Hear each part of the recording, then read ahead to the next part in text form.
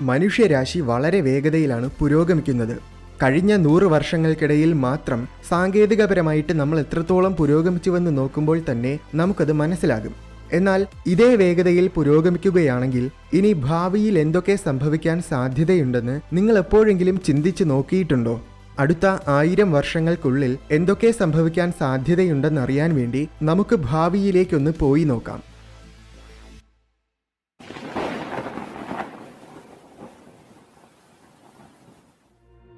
ആദ്യമേ ഒരു കാര്യം ഓർമ്മിപ്പിക്കട്ടെ ഇതൊരു ഭാവി പ്രവചനമല്ല. ഭാവി നമുക്കൊരിക്കലും പ്രവചിക്കാൻ കഴിയില്ല. മനുഷ്യരാശി ഇന്ന് പുരോഗമിക്കുന്ന രീതി അനുസരിച്ച് ഭാവിയിൽ ഇനി എന്തൊക്കെയായിരിക്കും സംഭവിക്കാൻ പോകുന്നത് എന്നതിനെ സംബന്ധിച്ചുള്ള സാധ്യതകൾ മാത്രമാണ്. അടുത്ത ആയിരം വർഷങ്ങൾക്കുള്ളിൽ മാർസ് ഗ്രഹത്തിനെ കോളനിവൽക്കരിക്കും. ബഹിരാകാശപരമായ ദൗത്യങ്ങൾ നടത്തുന്ന കാര്യത്തിൽ ഏറ്റവും മുന്നിൽ നിൽക്കുന്ന നാസ രണ്ടായിരത്തി മുപ്പതിൽ മാർസ് ഗ്രഹത്തിൽ മനുഷ്യരെ എത്തിക്കണമെന്ന് പദ്ധതിയിടുമ്പോൾ രണ്ടായിരത്തി ഇരുപത്തി അഞ്ചിൽ തന്നെ അത് ചെയ്യാനാണ് സ്പേസ് എക്സ് ശ്രമിക്കുന്നത്. നാസയും സ്പേസ് എക്സും മാത്രമല്ല ലോകത്തിലുള്ള പല സ്പേസ് ഏജൻസികളും ആദ്യം മാർസിലെത്താനുള്ള മത്സരത്തിലാണ്. ഈ നൂറ്റാണ്ടിൽ തന്നെ കുറഞ്ഞത് ഒരു ലക്ഷം മനുഷ്യരെയെങ്കിലും മാർസിലെത്തിക്കുമെന്നാണ് സ്പേസ് എക്സിന്റെ സിഇഒ ഇലോൺ മസ്ക് പറയുന്നത്. അങ്ങനെയെങ്കിൽ മൂവായിരത്തി ഇരുപത്തി ഒന്നാകുമ്പോൾ തീർച്ചയായും മനുഷ്യരാശി മാർസ് ഗ്രഹത്തിനെ കോളനിവൽക്കരിച്ചിരിക്കും. ആയിരം വർഷങ്ങളെന്ന് പറയുന്നത് വളരെ വലിയ കാലയളവാണ്. എങ്കിലും മാർസിനെ മനുഷ്യർക്ക് ടെറാഫോം ചെയ്യാൻ അതായത് ഭൂമിയെ പോലെയാക്കി മാറ്റാൻ അത്രയും സമയം മതിയാകില്ല. കാരണം തീരെ കനം കുറഞ്ഞ മാർസിന്റെ അന്തരീക്ഷത്തിനെ കട്ടിയുള്ള നല്ലൊരു അന്തരീക്ഷമാക്കി മാറ്റിയെടുക്കണമെങ്കിൽ ഒരുപാട് കാലമെടുക്കും. അതുകൊണ്ട് മൂവായിരത്തി ഇരുപത്തി ഒന്നിൽ മനുഷ്യർ കോളനി വൽക്കരിക്കുമെങ്കിലും വലിയ ഗോപുരം പോലത്തെ കെട്ടിടങ്ങൾ പണിത് അതിനുള്ളിലായിരിക്കും മനുഷ്യർ അപ്പോഴും താമസിക്കുന്നത്. സ്പേസ് യൂട്ടുകൾ ധരിച്ചു മാത്രമേ ആ ഗോപുരങ്ങളിൽ നിന്നും പുറത്തിറങ്ങാൻ കഴിയൂ. മറ്റു ഗ്രഹങ്ങളെ കോളനിവൽക്കരിക്കുന്നതിന്റെ ഏറ്റവും പ്രധാന കാരണമെന്നത് മനുഷ്യരാശിയുടെ നിലനിൽപ്പ് ഭദ്രമാക്കാൻ വേണ്ടിയാണ്. ഒരു വലിയ ആസ്ട്രോയിഡ് വന്ന് പതിച്ചാൽ മതി മനുഷ്യരാശി അവിടെ തീരും. എന്നാൽ മറ്റു ഗ്രഹങ്ങളിലേക്ക് നമ്മൾ വ്യാപിച്ചാൽ എന്തെങ്കിലും കാരണത്താൽ ഒരു ഗ്രഹം തകർന്നാലും മറ്റു ഗ്രഹങ്ങളിലുള്ളവർ സുരക്ഷിതരായിരിക്കും. മാഴ്സിനെ മാത്രമല്ല ഒരുപക്ഷെ സാറ്റേൺ ഗ്രഹത്തിന്റെ ഉപഗ്രഹമായ ടൈറ്റനിലും ചിലപ്പോൾ വീനസിലും കോളനികൾ സ്ഥാപിക്കും. മാഴ്സിനെ കോളനിവൽക്കരിക്കുന്നതിനേക്കാൾ വീനസിന്റെ അന്തരീക്ഷത്തിൽ ഒഴുകി നടക്കുന്ന കോളനികൾ സ്ഥാപിക്കുന്നതായിരിക്കും കൂടുതൽ എളുപ്പമെന്നാണ് പല ശാസ്ത്രജ്ഞരും പറയുന്നത്. എന്തായാലും കൂടുതൽ ഗ്രഹങ്ങളിലേക്ക് വ്യാപിക്കുമ്പോൾ മനുഷ്യരാശി കൂടുതൽ സുരക്ഷിതരാകും. അടുത്ത ആയിരം വർഷങ്ങൾക്കുള്ളിൽ ഭൂമിയിൽ കുറച്ച് മാറ്റങ്ങൾ ഉണ്ടാകും. ഇപ്പോൾ നമ്മൾ വളരെ വേഗതയിലാണ് ഭൂമിയെ നശിപ്പിച്ചുകൊണ്ടിരിക്കുന്നത്. കടൽ മുഴുവൻ പ്ലാസ്റ്റിക് മാലിന്യങ്ങൾ അന്തരീക്ഷ മലിനീകരണങ്ങൾ കാട് വെട്ടി നശിപ്പിക്കൽ ഇങ്ങനെ ഒരുപാട് ദ്രോഹങ്ങൾ മനുഷ്യൻ ഭൂമിയോടും പ്രകൃതിയോടും ചെയ്തുകൊണ്ടിരിക്കുകയാണ്. മനുഷ്യപ്രവർത്തികൾ കാരണം അറുന്നൂറിൽ കൂടുതൽ ഇനം ജീവികൾക്ക് വംശനാശം വരെ സംഭവിച്ചു. ഇതിനു പുറമെ ഇന്ന് പല മൃഗങ്ങളും മനുഷ്യൻ കാരണം വംശനാശ ഭീഷണി നേരിടുകയാണ്. ഇനിയും ഇതൊക്കെ ഗൗരവമായ കാര്യമായിട്ട് പരിഗണിച്ചില്ല എങ്കിൽ പ്രശ്നം വളരെ ഗുരുതരമാകും. ഇപ്പോൾ തന്നെ പ്രകൃതിയെ ദ്രോഹിക്കുന്നതിന്റെ ഫലമായിട്ട് പല പ്രശ്നങ്ങളും ഉണ്ടാകാൻ തുടങ്ങിക്കഴിഞ്ഞു. നിയന്ത്രിക്കാൻ കഴിയാത്ത കാട്ടുതീ ഉയരുന്ന സമുദ്രനിരപ്പ് അപ്രതീക്ഷിതമായ കാലാവസ്ഥാ വ്യതിയാനങ്ങൾ ധ്രുവങ്ങളിലെ ഉരുകുന്ന മഞ്ഞുപാളികൾ ഓസോൺ പാളിയുടെ വിള്ളൽ പിന്നെ ഉയരുന്ന ആഗോള താപനം. ഇതേ രീതിയിൽ പോയാൽ ഇനിയും ഏതാനും ചില ശതവർഷങ്ങൾക്കുള്ളിൽ തന്നെ ഭൂമിയിലെ അവസ്ഥകൾ ജീവിക്കാൻ പറ്റാത്ത രീതിയിലായിട്ട് മാറും. എന്നാൽ ഉടനെ തന്നെ പരിസ്ഥിതിയെ രക്ഷിക്കാനുള്ള ശ്രമങ്ങൾ തുടങ്ങിയാൽ ഭാവി മനുഷ്യർക്കെങ്കിലും ഭൂമിയെ നല്ല രീതിയിൽ അനുഭവിക്കാൻ കഴിയും. ഇന്ന് ഉപയോഗിക്കുന്ന രീതിയിലാണെങ്കിൽ ഇനിയും അൻപത് വർഷങ്ങൾക്കുള്ളിൽ തന്നെ പ്രകൃതിദത്തമായിട്ട് ലഭിക്കുന്ന പാചകവാതകങ്ങളും എണ്ണകളുമെല്ലാം തീരും.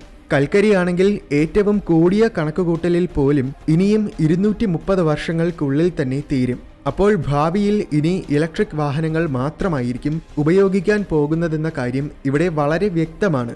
ജർമ്മനിയിലുള്ള ഹാർവാർഡ് സർവകലാശാലയിലെ ഒരു സംഘം ഗവേഷകർ നടത്തിയ പഠനത്തിൽ രണ്ടായിരത്തി അൻപതാകുമ്പോൾ തന്നെ ഭൂമിയിൽ ഉപയോഗിക്കുന്ന വൈദ്യുതിയിൽ മുപ്പത്തിമൂന്ന് ശതമാനവും സോളാർ എനർജി ആയിരിക്കും. ഇതിന്റെ ഒപ്പം വിൻഡ് എനർജിയും ജിയോ തെർമൽ എനർജിയും കൂടെ ഉപയോഗിക്കാൻ തുടങ്ങിയാൽ പിന്നെ യഥാർത്ഥത്തിൽ നമുക്ക് പെട്രോളിയം ഉൽപ്പന്നങ്ങളുടെ യാതൊരു ആവശ്യവും ഉണ്ടായിരിക്കില്ല. അതുമാത്രമല്ല പരിസ്ഥിതി മലിനീകരണം വളരെ വലിയ തോതിൽ കുറയും. അതിനോടൊപ്പം തീർച്ചയായിട്ടും ആഗോള താപനവും കുറയും.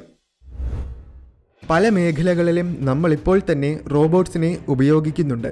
എന്നാൽ ഇനി വരാൻ പോകുന്ന മറ്റൊരു ടെക്നോളജിയാണ് ട്രാൻസ് ഹ്യൂമനിസം അതായത് മനുഷ്യനെയും യന്ത്രങ്ങളെയും തമ്മിൽ ബന്ധിപ്പിക്കുന്ന സാങ്കേതിക വിദ്യ യന്ത്രങ്ങൾ മനുഷ്യരെക്കാൾ മെച്ചപ്പെട്ട രീതിയിലേക്ക് മാറാൻ തുടങ്ങിയിരിക്കുകയാണ്. ഇനി യന്ത്രങ്ങളുടെ കൂടെ പിടിച്ചു നിൽക്കണമെങ്കിൽ മനുഷ്യന്റെ തലച്ചോറും യന്ത്രങ്ങളും തമ്മിൽ ബന്ധിപ്പിക്കേണ്ടി വരും. അങ്ങനെ ചെയ്യുന്നതിൽ ഒരുപാട് നേട്ടങ്ങളും ദോഷങ്ങളുമുണ്ട്. പക്ഷേ നല്ല രീതിയിൽ മാത്രം ഉപയോഗിച്ചാൽ ഇതിന് ഗുണങ്ങൾ മാത്രമേ ഉള്ളൂ. ആയിരം വർഷങ്ങൾക്കുള്ളിൽ കമ്മ്യൂണിക്കേഷൻ ടെക്നോളജികളെല്ലാം ശരിക്കും മെച്ചപ്പെടും. ഇപ്പോൾ തന്നെ ലോകത്തിൽ ഏത് കോണിൽ നിന്നാലും നമുക്ക് ആരോട് വേണമെങ്കിലും സംസാരിക്കാൻ പറ്റുന്ന രീതിയിൽ നമ്മുടെ സാങ്കേതിക വിദ്യകൾ പുരോഗമിച്ചു കഴിഞ്ഞു. പക്ഷേ ഇന്ന് ഇതിന് ഒരുപാട് പോരായ്മകളുണ്ട്. ഒന്നാലോചിച്ചാൽ ഇന്റർനെറ്റിന് വേണ്ടി മാത്രം വലിയൊരു തുകയാണ് നമ്മൾ ചിലവാക്കുന്നത്. എന്നിട്ടും പല സന്ദർഭങ്ങളിലും ഇന്റർനെറ്റിന് വേഗത വളരെ കുറവാണ്. എന്നാൽ സ്പേസ് എക്സിന്റെ സ്റ്റാർലിങ്ക് പോലെയുള്ള പദ്ധതികൾ വ്യാപകമാകുന്നതോടുകൂടി ഈ അവസ്ഥകളൊക്കെ മാറും. മിക്കവാറും മൂവായിരത്തി ഇരുപത്തി ഒന്നാകുമ്പോൾ ഇന്റർനെറ്റ് എന്നത് ആർക്ക് വേണമെങ്കിലും എപ്പോൾ വേണമെങ്കിലും ഒരു ചിലവുമില്ലാതെ തന്നെ ലഭിക്കുന്ന ഒന്നായിട്ട് മാറാനാണ് കൂടുതൽ സാധ്യത. അങ്ങനെ വരുമ്പോൾ ലോകത്തിൽ എല്ലായിടത്തുമുള്ള സകല മനുഷ്യരും തമ്മിൽ എപ്പോഴും ബന്ധപ്പെടും. ഇനി മറ്റൊരു കാര്യമാണ് ആർട്ടിഫിഷ്യൽ ഇന്റലിജൻസ് ആർട്ടിഫിഷ്യൽ ഇന്റലിജൻസ് പ്രോഗ്രാമുകളുടെയും റോബോട്ടുകളുടെയും പുരോഗതി രണ്ട് രീതിയിൽ മാറാൻ സാധ്യതയുണ്ട്.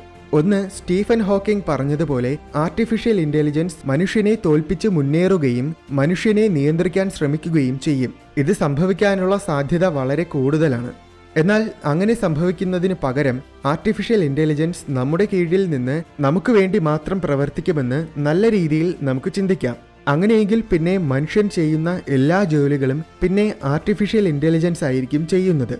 അപ്പോൾ മനുഷ്യന് വീട്ടിൽ നിന്നും പുറത്തിറങ്ങാതെ തന്നെ എല്ലാ കാര്യങ്ങളും ചെയ്യാനാകും. പക്ഷേ ഇതിനും വലിയൊരു പ്രശ്നമുണ്ട്. മനുഷ്യർ തമ്മിലുള്ള അകലം പിന്നെ കൂടും.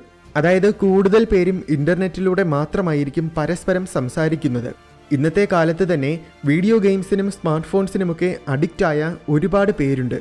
പക്ഷേ ഇപ്പോൾ ഇതിനെല്ലാം ഒരു പരിധിയുണ്ട്. എന്നാൽ ഭാവിയിൽ അതിനൊരു പരിധി ഉണ്ടായിരിക്കില്ല. കമ്മ്യൂണിക്കേഷൻ സംവിധാനങ്ങൾ മെച്ചപ്പെടുന്നത് പോലെ യാത്രാ സൗകര്യങ്ങളും പുരോഗമിക്കും. അപ്പോൾ വളരെ വേഗതയിൽ യാത്രകൾ ചെയ്യാൻ കഴിയും. ഇന്ന് ലോകത്ത് ഏഴായിരത്തിൽ പരം ഭാഷകളുണ്ട്. എന്നാൽ ഭാവിയിൽ വളരെ കുറച്ച് ഭാഷകൾ മാത്രമേ ഉണ്ടായിരിക്കൂ. മൂവായിരത്തി ഇരുപത്തി ഒന്ന് വരെ രാജ്യങ്ങൾ തമ്മിൽ വേറെ പ്രശ്നങ്ങളൊന്നുമില്ലാതെ പോവുകയാണെങ്കിൽ പിന്നെ യുദ്ധങ്ങളൊന്നും ഉണ്ടാകാൻ സാധ്യതയില്ല. ഇതിനൊക്കെ പുറമെ ഏറ്റവും വലിയ കാര്യമെന്നത് ലോകം പുരോഗമിക്കുമ്പോൾ ഒരുപക്ഷെ പട്ടിണി കാരണം അന്നാരും മരിക്കുകയില്ല. രണ്ടായിരത്തി ഇരുപതിൽ മഹാമാരി എന്ന് നമ്മൾ വിശേഷിപ്പിച്ച കോവിഡ് കാരണം ഇരുപത്തിനാല് ലക്ഷത്തിലേറെ ജീവൻ നഷ്ടമായി. എന്നാൽ അതേസമയം രണ്ടായിരത്തി ഇരുപതിൽ ആഹാരമില്ലാതെ വിശന്നു മരിച്ചത് എഴുപത് ലക്ഷത്തോളം മനുഷ്യരാണ്. ഇനിയും ആയിരം വർഷങ്ങൾ കഴിയുമ്പോഴെങ്കിലും ഇതിനൊരു അന്ത്യമുണ്ടാകും എന്ന് നമുക്ക് പ്രതീക്ഷിക്കാം. ഈ പറഞ്ഞ കാര്യങ്ങളൊക്കെ സാധ്യമാകണമെങ്കിൽ ആദ്യം മനുഷ്യർ തമ്മിലുള്ള വേർതിരിവുകൾ അവസാനിക്കണം. അല്ലെങ്കിൽ ഇനിയൊരു മൂന്നാം ലോക മഹായുദ്ധം സംഭവിച്ചാൽ പിന്നെ ഈ ഭൂമി തന്നെ ഉണ്ടായിരിക്കുമോ എന്ന കാര്യം സംശയമാണ്.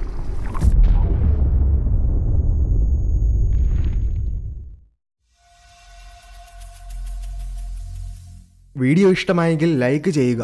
ഇതുപോലുള്ള കൗതുകവും വിജ്ഞാനവും നിറഞ്ഞ കൂടുതൽ വീഡിയോസ് കാണാനായിട്ട് ഈ ചാനൽ മറക്കാതെ സബ്സ്ക്രൈബ് ചെയ്യണമെന്നും ഓർമ്മിപ്പിക്കുന്നു.